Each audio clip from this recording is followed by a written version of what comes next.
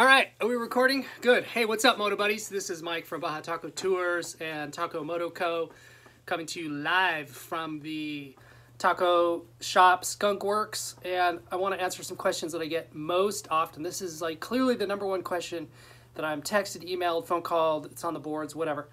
And it's about engine management. So, tuning, engine management. We're going to go through the products that are used to uh, get you there uh, some of the ins and outs and the advantages of each one. So I'm going to use this cheat sheet. This is what I'm going to be going off of. I'll post a link to this up in this YouTube section so you can see all this data. But basically it's a breakdown of each one of these little engine management devices. So let's start off with your stock ECU. So what we have here is the stock Keihin engine management uh, ECU that's on your bike, whether you have a two-stroke or four-stroke. If it's fuel injected, you have one of these little guys. It's a computer that runs all the sensors, the inputs and the outputs, and then it, it, it uh, takes that sensor data and runs it through the map and makes fuel management and ignition cycle decisions based on the input sensors. So how the map works is it's just a grid. It's a spreadsheet that's inside of this uh, computer and it's got a, a, TPS column and then a RPM column. And so if you're at a particular throttle opening at a particular uh, RPM range, then the computer asks the sensors for its data regarding, say, like mat, uh, the um, uh, air. So some of the sensors you have are coolant temperature, and then a ambient air temperature, and then a manifold absolute air pressure sensor. So it's taking that data and then it's running it through the map and it's making a modified decision. So it's not taking the true um, X and Y of the TPS and throttle position, well, the RPM data, it's not taking that raw data and then sending out information to the uh, coil and the fuel injector. It's gonna it's gonna run, it's gonna filter that output through the data um, from the sensors and then make a calibrated decision about what your ignition timing should be and what your fuel pulse width should be on the on the fuel injector. So that's what's happening in the map and the computer, this little ECU guy, this is reading the data from the sensors, and then it's sending out the electrical signals to the coil and to the um, fuel injector. So everything is happening in this box. This is the magic box. This is the brain of your system. Everything is decided here in this box. So your stock map has some advantages and disadvantages. The stock ECU has those. So what you get with a stock, uh, some of the advantages, it is fully submersible. You can put this underwater on your bike and it won't damage it in any way you um, there's no user inputs and then you um, don't have to spend anything. So to run this box exactly it is, you don't have any added cost to your already sunk costs of buying your bike as it is. Some of the disadvantages are you really can't make any mods. So if you've got like the 17 plus injected bikes, the four stroke bikes that have the reed cage, if you pull that out, you throw the baseline pre-programmed fuel map out of whack, and so your bike is running lean. It was already lean anyway, and now it's more so. Um, if you take off your stock can and you throw on a slip-on, you're lean. If you knock out the end plug, you're lean. If you do anything to modify your bike in any way, you're lean. Um, and so you're really locked in. Now, let me make one small comment about something I get a lot of questions about, and that's a TPS hack. So guys will say, oh, I see this YouTube video and it says you can tweak out or bump up your TPS and that'll add more fuel, which it does. But it is not a calibrated amount of fuel, and it also changes the ignition curve. So you're essentially tricking your bike. Here's what's happening. You're fooling your bike into thinking that your throttle plate is open more, 4%, 5 6% more than it really is. And so because there's more air flowing in, then the, the, management system thinks that you need more fuel. And so it's artificially increasing or richening up or adding more fuel to the actual throttle position. And um, it does make your bike run a little richer, but it is a, um, uh, it's a, in my opinion, and look, if you ask any of the tuners out there, any of the reputable guys, if that's a valid way to do it, they'll tell you, no, it's not. Are there plenty of dudes out there that are running that with a pipe and the reeds out and they say, oh, I love it, my bike runs better? Sure. Um, but if they throw that on a dyno, if they look at the air-fuel ratios, they'll see that there's so much room on the table for improvement with the additional heat, load, and demand that you, um, you know, running it lean is a problem with maybe a few exceptions. Now, um, I'll just throw this out there. If you have a very stock bike and you're running in it generally ambiently, ambiently, making up words. If you're running in an area that's that has typically cooler ambient temperatures, then you know I'll hold my nose and say maybe that's fine. You can do that. But if you've got a modified bike, and especially if you run in any heat, like in the Southwest, or you put a high demand on your bike, lots of sand, lots of really hard riding, aggressive riding, then you're going to potentially run into engine durability problems in the long run. So no reputable tuner is going to recommend that. Nobody will tell you to do that. That's sort of a hack that's floating around out there. Um, we don't do that here at the taco shop, and, and if I ever find a bike that has that's all they're running for engine management, fuel management, we try to steer them into some other direction. And, and look, you're not spending a lot of money to get away from the TPS tune as your only um, option. Um, and so we'll get into those in just a second. So your um, probably the next step up in the ladder might be in terms of like cost and then performance would be um, to remap or reflash your stock box. So there's plenty of guys out there that are kind of on the down low that you can send this to and they will do a reflash. They will put something known as the Euro map in here. The Euro map is essentially a map that's pretty pretty similar in calibration to what like the old XCW maps were back in the day in the 12 through 16 bikes before they went to the 50 state legal 17 plus EXCF bikes. And it is richer in the lower speed circuits, but it thins out up high and you kind of run into the same problems that you do with the stock map. And um, look, Euro, the Euro map is uh, a regulated map too. It's not like Europe doesn't have any emissions regulations. They do. There's a Euro 4 standard that, that bikes up to this point have met. So it's ain't a wide open thing. Um, but what you do get, so there are some advantages. One of them is cost. You probably are looking at about a hundred bucks to send your stock box to some of these guys who will reflash them to the Eurotune. Again, the Eurotune is going to be lean for some modification schemes that you're going to do on your bike. So it plugs a hole, but then you still have a few leaks uh, otherwise with it. So it's not the final solution, but what it is, is it's a like a bridge to get you to a custom tune. So if you unlock or hack or jailbreak this stock box with the Euromap, then you can send that to the, maybe the same guy can do this for you, or maybe it's a different guy, but he can reflash, put this box on the, on the UST, which is the KTM user setting tool, reflash it with like a map he's developed, so ignition and fueling profiles that he thinks are hot, the way to go for your particular bike. And so that will add tons of performance and usability. And again, you maintain the stock box. So if you're inclined to think that this is really the way to go because of reliability, waterproof, some of the features, guys just, there's guys out there who like the comfort, peace of mind, knowing that they don't have an aftermarket box on their bike, any aftermarket parts, then, then this is probably the direction you'd want to go. And you might be into this total for maybe less than 300 bucks. So maybe 100 bucks for the jailbreak and then 150 to 200 for a custom tune that somebody's going to want to put in there. And it's all just software. All you're doing is you're paying somebody for their knowledge and their time. Um, they're not changing any of this hardware. It's all software. Um, but they deserve to be compensated for their efforts. And so you're probably going to spend 250 to 300 bucks to have that done. Um, so some of the other advantages are your your you're absolutely improving and modifying the fueling, which you'll feel in the throttle, and then you're changing the ignition too, which also is noticeable. And so you have bumped up those two vectors in this uh, box, and now you're running, you know, something that some race teams swear by. So great option, um, and that's probably all I'll say about that. Now, if you want to go to an aftermarket component, and so this would be an add-on. So let's take a scenario. Let's take a guy who has his stock USA 50 state EPA approved map, and he doesn't want to send this box out to anybody. He doesn't want to do that.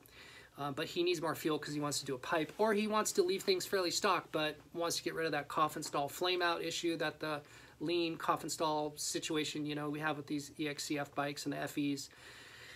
And so what you could do there is you could add onto your system one of these little guys. This is the um, Dobeck EJK. So this little box right here is a piggyback plug and play tuner made by a company out of uh, Belgrade, Montana, Dobeck Engineering.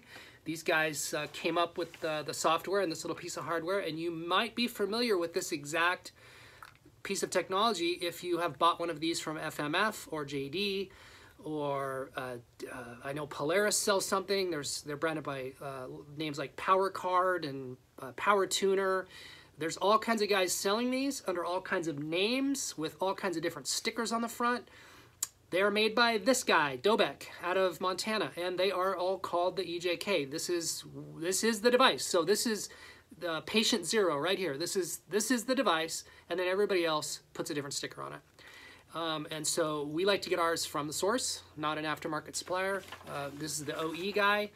And so there's a set of values that you would plug in. So basically these lights here will flash. You have uh, calibrated values of like one through eight, one through nine. Yeah, one through eight. And so you plus and minus, adding and taking away fuel at five different preset throttle positions and um, and so you oh and there's a six so there's really six fueling circuits here. The sixth one is the accelerator pump so like with the old FCR carbs or any pumper carb.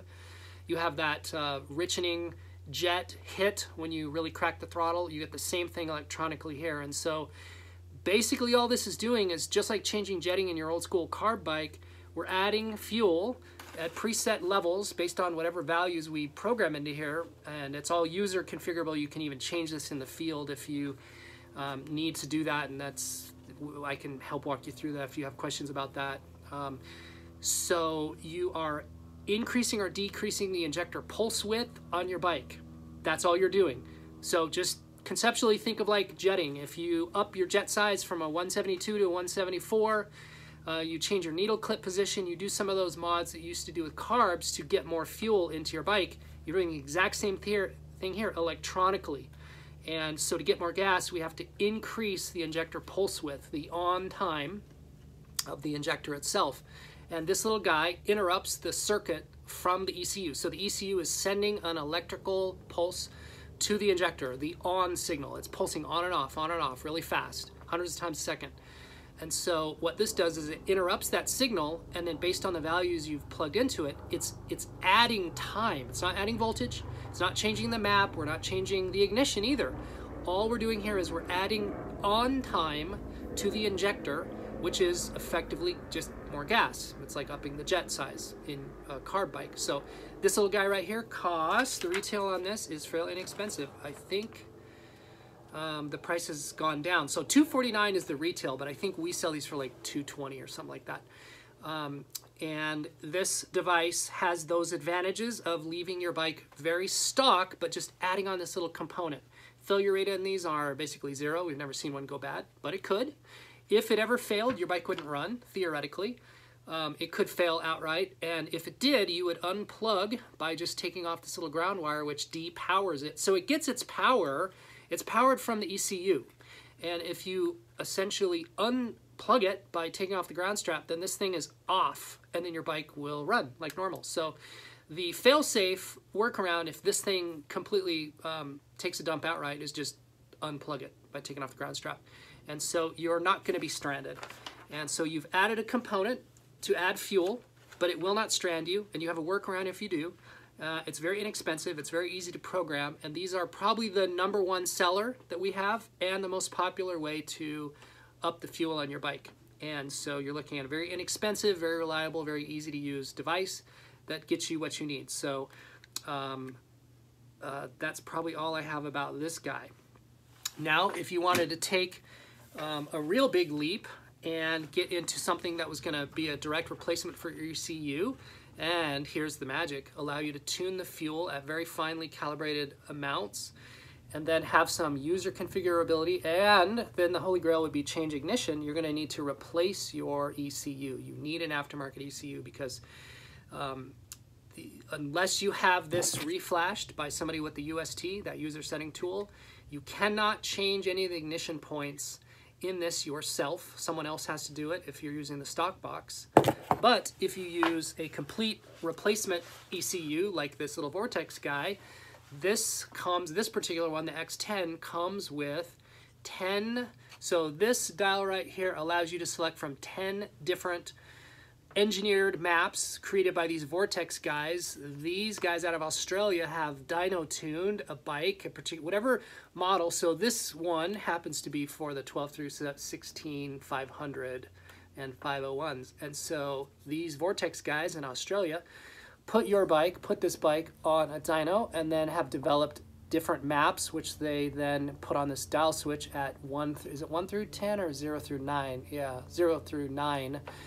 And so there's 10 maps in here and you can click through these settings to pick one of those maps and run your bike on it. And so that particular map is essentially what happens here. So really theoretically, if you calibrated this, if a guy re-flashed this with a custom map, he's changed fuel and ignition, which is no different than what's happening on one of these dial settings. Somebody has programmed into here a new map that changes fuel and ignition. Maybe the difference here is that on this guy, you can pick different ones. If I have a custom tuner do this one, I'm limited by just the one he put in here. But here I have up to 10 different options. And so that's a big feature. Then you've got these three little dials here, and these let you select fuel trim. So you can add or take away fuel. You can add up to 30% over whatever, whatever Vortex put in here for the fueling for this particular map. If you want to or need to, you can add up to 30% more at the low, med middle, medium, and then high throttle range settings, or take it away 10% under. So you can get a total fuel sweep range of 40% by uh, clicking these little dials. Here, you have no user uh, modifications. You can't change it. Whatever that tuner put in here, that's what's in here. Can't select anything else, can't make any changes. If you needed to change any of these settings, you'd send this back to the guy and he, he you would like a suspension tuner. So think of this as no different than you have your suspension built by a guy and then he set it up a particular a particular way. You don't like it or you want to tweak it, you have to have him crack it open and then get back into the internals. Same thing's going on here. And then with this guy, you get that usability where you can make those changes yourself. So that's kind of what's going on in the difference here. So if you look at this dial right here, this 10 position dial, this is where you change and select from the pre-designed maps that the Vortex guys have installed in here. And they have different names, different uses. Um, one of them is the stock map, just the base, base map, same thing you have in your stock ECU. So um, you can read the instructions and go through those and see which one you think is the most suitable. Some of them are going to be kind of off limits for a stock guy because they need race gas and they're for like modified motors. Um, but you get you end up getting three or four maps that are probably usable for most guys. And in fact, really, most guys set it to one, and then let's set these at about five. That is the typical, you know, kind of no fuss vortex setup. Tends to be a little bit on the rich side, which is sort of a fail safe, and that's fine. That's not a real big deal. Um, you can take this to a dyno shop, and they will, if they have the available uh, Vortex software utility they can so one of these is for the map switch talk about that in a second and then one of these is the programming switch. So they could put your bike on a on a dyno plug this into the software utility and they could make fine calibration changes to the fuel and ignition and then upload that data back into the map. And so that will optimize your performance fueling and performance. And so that's really the holy grail of how to do any of these ECUs and you could do the same thing here uh, with this. So you could take your bike to a guy who had the UST tool and a dyno, and he could absolutely optimize the performance capabilities of your bike running this box. You can do the same thing here. Um, and that's really, if you have the resources and the ability to do that, that's kind of the ultimate way to go. Otherwise, you're getting a map that is generally and generically designed and optimized to just really nail the specs of your bike. There might be some parameters that are different. Every motor is different. And so while they ran those tests and set this up on a, the particular bike that they did, they tried to generalize that and spread out its sweep and its ability to sort of wrap its arms around uh, other bikes that are super similar. So there's a little fudge factor plus and minus trying to in, in, encompass the capabilities of different bikes, yours, mine, everybody else's, that are the same model, the same bike with some of those same mods.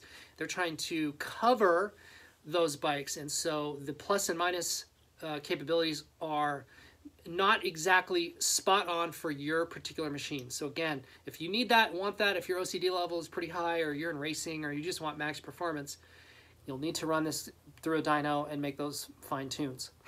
So this other uh, little pigtail here is for a map switch. So what's happening with the map switch on this is it allows you to toggle in between two different maps. So if you plug in the map switch, then automatically this thing is going to run map 1 on map position 1, and then whatever you put here for the switch will be on map 2. That's what you get with map 2. So position 1 is always map 1. Position 2 is 1 through 10, or 0 through 9, rather. That's how you toggle in between the two maps. And so there is no traction control. So let's talk about traction control. That's a question I get all the time. The non-US bikes have a map, uh, map switch, like Australia and European, other country bikes have that map switch. And you're toggling between what KTM calls the power map and the soft map. Basically what's happening there is you've got the unrestricted, whatever that first map profile is, I think it's map two is the wide open map, and then one is the soft map. Map 1 is just sort of a wet blanket version of uh, map 2, the power map. So that is to say, they interpret if you have less power available, less fuel, less ignition, you're less likely to spin the back wheel. That's traction control. And uh, Vortex kind of interprets that the same way. You could select map 1. If you put the map switch on, your map 1 is that hot map. And then map 2 would be you could select like a softer map. They have a couple of profiles that are kind of enduro, uh, you know, just less uh, less intense maps, and that could be theoretically called traction control. And you know, for all intents and purposes, I guess it is. But when we get to the GET ECU, the Athena GET, we'll we'll talk about how they do it quite differently. Um, so cost on this little guy right here is $6.99 retail. The map switch is a add-on accessory at 69 bucks, so you're at 770 bucks if you go all in. If you get the software package, I don't have the price, you know, so, okay, check that out. You need the software and the cable. So if you're an at-home guy, man, I think I calced that out one time and it's like 900 bucks. Don't get me wrong. If you if you if you know what that cost is of the of the cable and the utility, put that in the comments. But maybe it was maybe it was $900 Australian dollars and I didn't down convert that. Um, anyway, it gets spendy. So you're you're sinking a couple of bucks into this. Also, look at this. If you're going to get a user setting tool for for this guy, unavailable. KTM doesn't make it anymore. So there's a couple of guys in the U.S. and uh, if you message me, I'll tell you who they are, who can crack this for you, who can Euroflash this for you, and then who can custom map this for you.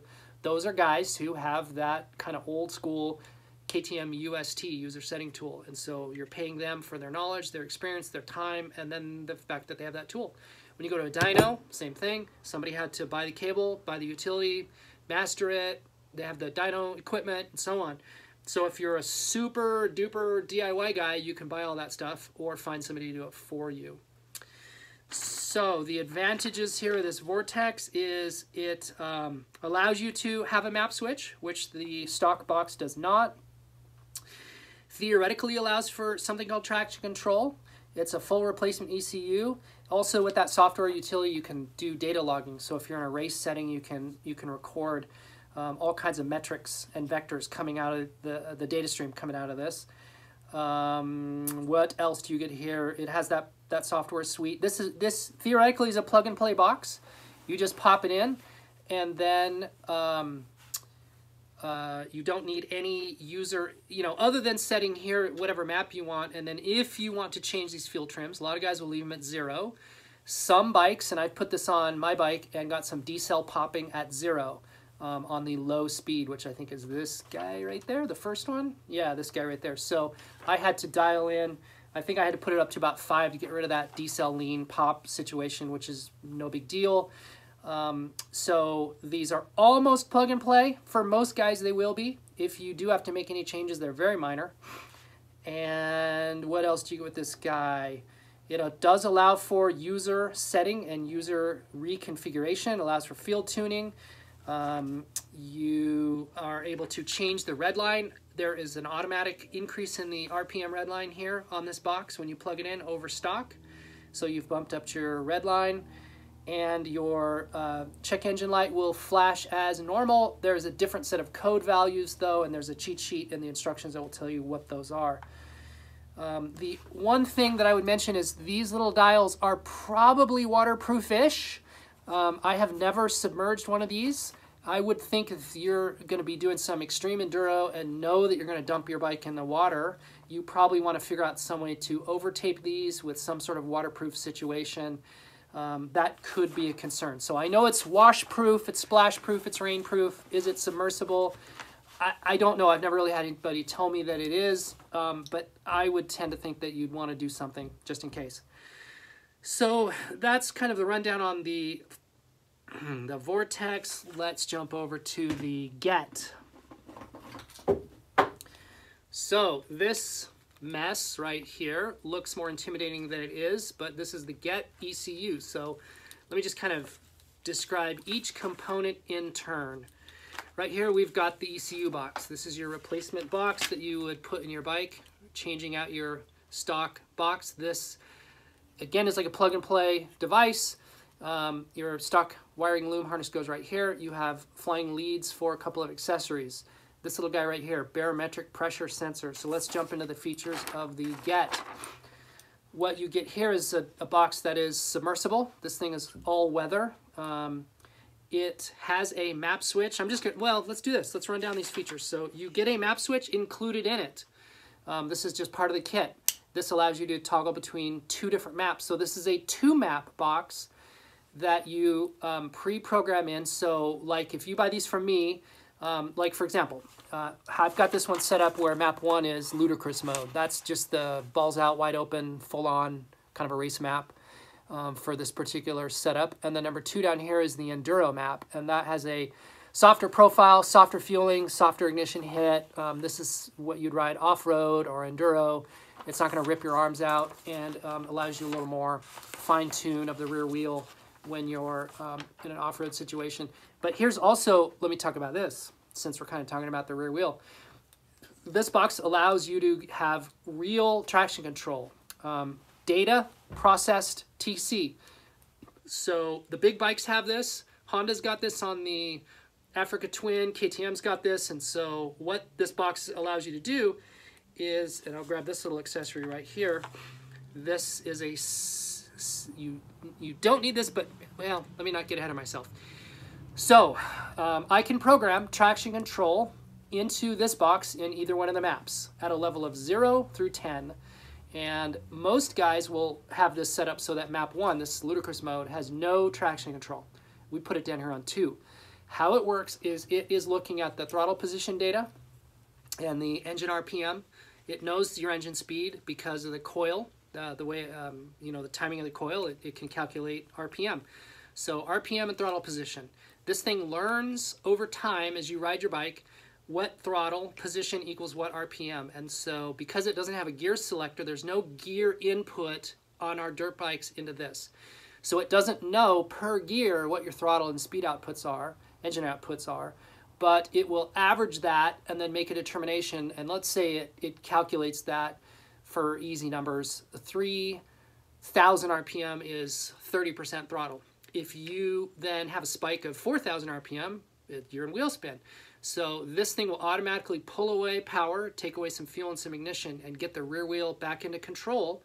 And then once those numbers align again, then it'll reapply, it'll softly reapply power. And so it's it's fine tuning, it's pulling away and giving it back as needed in wheel spin once you get out of the predetermined calculation.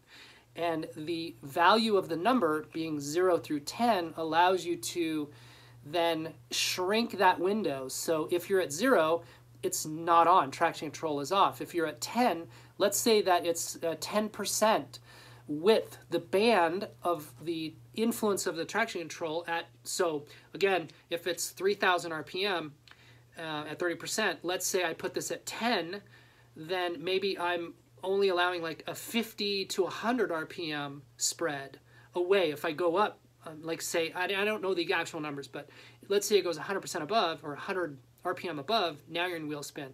If I click it down to 9, maybe that's 200 RPM. If I click it to 8, it's 300 and so on. So you can find, oh, I've sort of crossed wires here. Yeah, so you get the switch. This is an optional add-on switch that is a uh, a dial indicator that allows you to plug in or tell the traction control um, feature at what level you want that control to be, 0 through 10. If you do not have this, then I have authority over the TC, whether it's in there or not, and then what value. It lives in here and it's not user configurable. Again, most guys want map 1 with without it, and then they want map 2 as like their dirt off-road enduro map, and they want it there.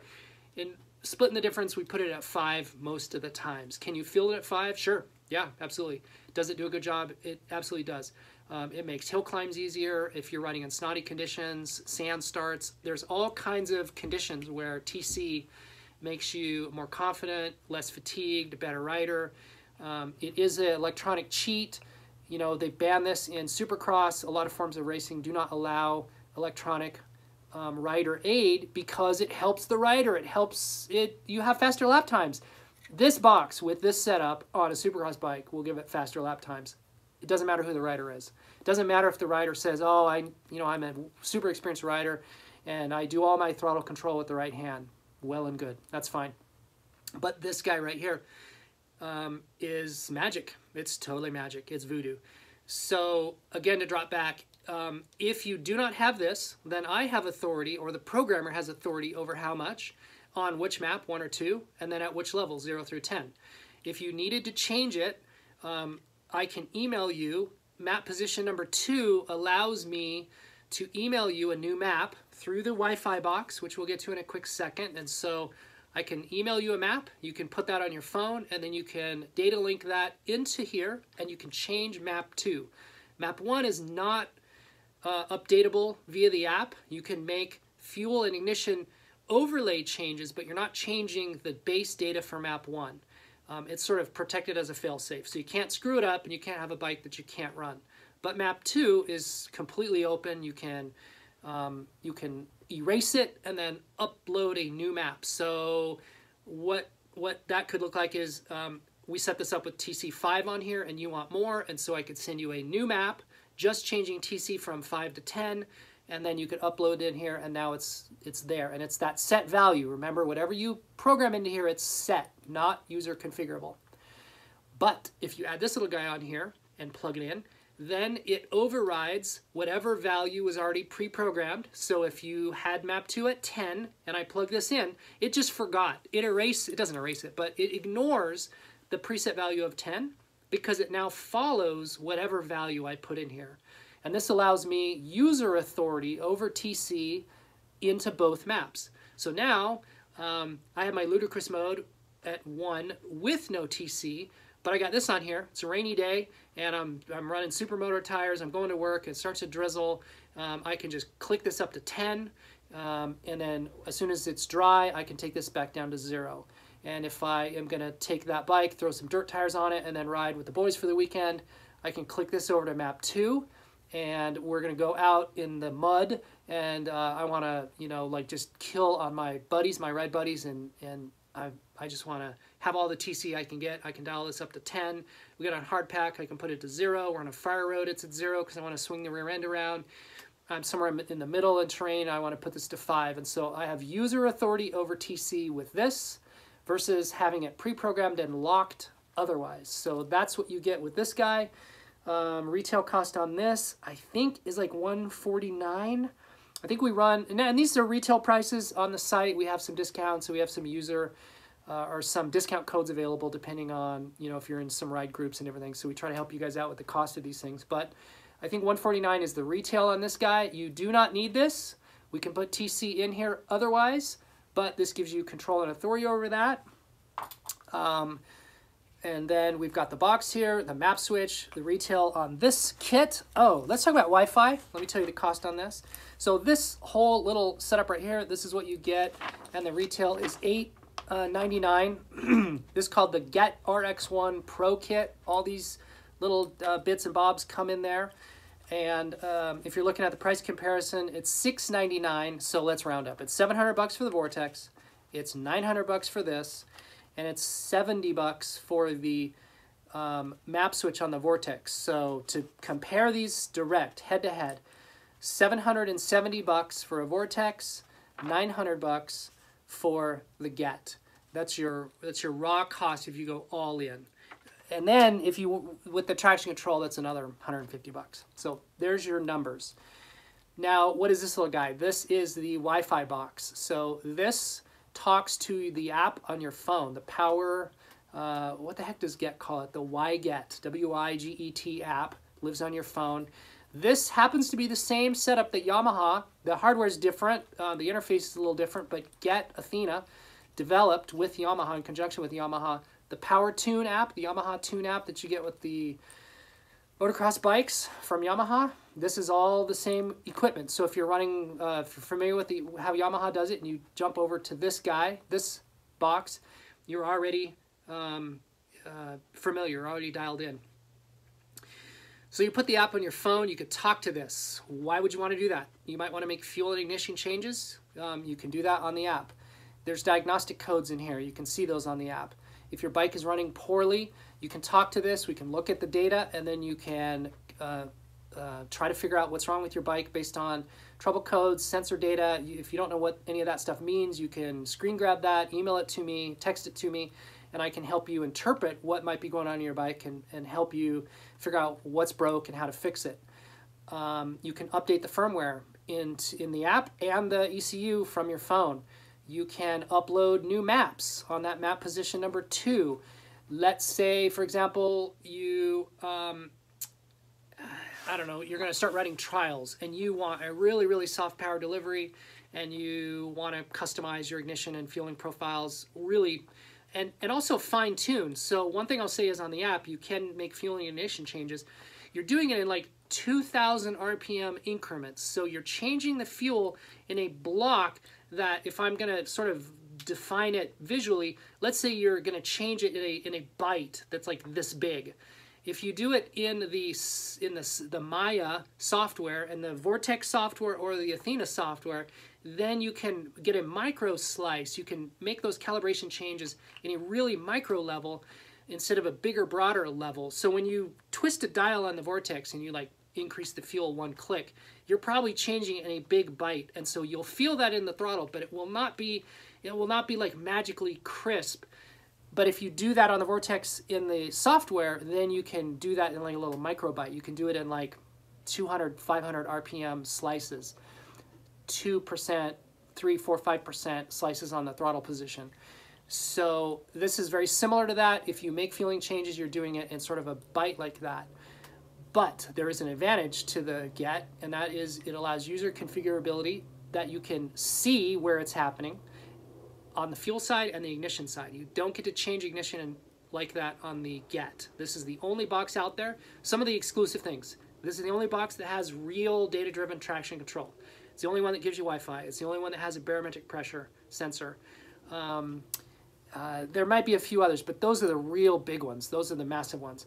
Oh, one other thing I'll say is computer speed. So nobody will give you in writing any of these processor speeds and make comparisons. However, I have talked to a bunch of guys and know anecdotally and kind of cross-verified this information that the processing speed of this box is the fastest of any um, this is faster than the stock computer and this is faster than the Vortex. So we're talking about a computer.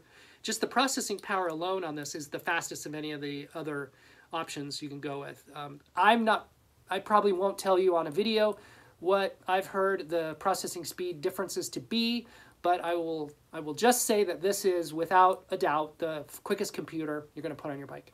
And I will also say that performance-wise, you will feel that. You will feel the amount of connectedness to the uh, mechanical grip throttle with this box that feels like a ride-by-wire system that is sharper and finer with a more precise hit than either the stock or the Vortex. It's something that you can feel at your right wrist, and it's pretty surprising and shocking and impressive. So there are a couple of those features, like I mentioned, that you get with the Get that you don't get on any of the other boxes kind of exclusive to this guy. There's a price premium. You're paying for that. If you need all the bells and whistles, this is all the bells and whistles. None of the other options have, you know, all the all the tricks up its sleeve like this guy does. Uh, comes at that price though. There's a high price price premium for it. Uh, what else do I need to mention about the Get box? So this is fully waterproof. You can dunk it. Uh, this comes with a map switch included. And uh, it has traction control, Wi-Fi, baro sensor. It's a full replacement. It also allows data logging if you get the full software suite. You're changing fuel and ignition when you plug this in. And uh, you can make user field changes with the app. There's no dials, you're not changing anything here, you have to do it through the app. And let me, let me jump over to another flavor of getting this box. So Athena has marketed a second version of this, and uh, I forget what they call it. I think it's just the Get RX1 versus this kit with all these little features as the Pro, the Pro kit. So if you just get it as the Get RX1, what you what you get is just this guy. It's just the ECU. And so they're trying to compete directly with the Vortex on price point. No map, no uh, Wi-Fi. But for some guys, they don't need that. They don't want all those bells and whistles. They don't want to. They don't care or want to talk to their bike on their phone, and they probably they're not going to make any changes, field changes. And so for 749 for just the box versus the 699 so 50 bucks more. So for 50 bucks more you get a faster computer and a barometric pressure sensor with the capability of in future if you wanted to add the Wi-Fi box that's a a la carte item you can get. You can add the TC knob as an a la carte. You can add the map switch as an a la carte. So you can trick this up by adding on those individual components later if you wanted to. And so that gives you I'm a great video maker, aren't I? So that gives you the option to get this at a price point that was pretty comparable to the Vortex and then have expandability. But I think, in my opinion, um, the, the, the baro sensor, that's totally a game changer. And the speed of the processor. Those are two reasons why, for my money, I've got to get. I used to have a Vortex on the bike, got rid of it. Well, I used to have Dobecks, you know, I've done everything. I've sort of gone through the generations of these this equipment and sort of the iterations of all these things. I used to have uh, the Dobecks on my bike and still recommend them. Now, let me let me say this. Even though I have a personal preference, which I'm telling you now, uh, I have not, I don't have anything bad to say about any of these boxes. Not one of these options are bad or wrong or better or worse. There are YouTube guys out there who will tell you that um, some of these are better or or uh, without naming any names but there's a guy who, who puts down the vortex says i don't sell it anymore gives reasons why he stopped selling it whatever. I'm not that guy. I am happy to set you up with any of these options. I think they're all great and they all have their own merits um, in the scale of price performance features. There's uh, there's there's an option for everybody. I think they're all great. I've run them all. I have owned them all, tested them all. Right now we're in the process of doing a total head-to-head -head against all of these. We're going to take every single one of these options, run them on the dyno. We're going to give them to a couple of test test riders and myself, and we're going to go out and run these um, and do a comparison and give you an idea of why we think you should maybe, um, depending on what you're after, get one or the other. So in my opinion, the Get is the one that I have on my bike because I just want all those features. I want the bells and whistles. I want the speed. Um, and so for my money, that's what I'm running. But that is not to say that um, you should not seriously consider or get any of the other options. They're all, they're all fantastic. So if you have any questions or comments, message me. You can leave them here in this. You can find us on Facebook, Instagram. I think uh, the Instagram is uh, at Hobo Moped on Facebook. We have Facebook groups, and then you can find me as well there. We do Tech Support Tuesday. There's all kinds of things that's going on. Um, lots of ways to reach us. So please do, if we said anything wrong in here, or if you want to update any information, please let me know. We try to get this as accurate as we can, but I'm sure we make some research mistakes, or there's just different things that we've overlooked or haven't talked about. So leave those in the comments. Thank you for watching this. Um, get out there and get some adventure. Later.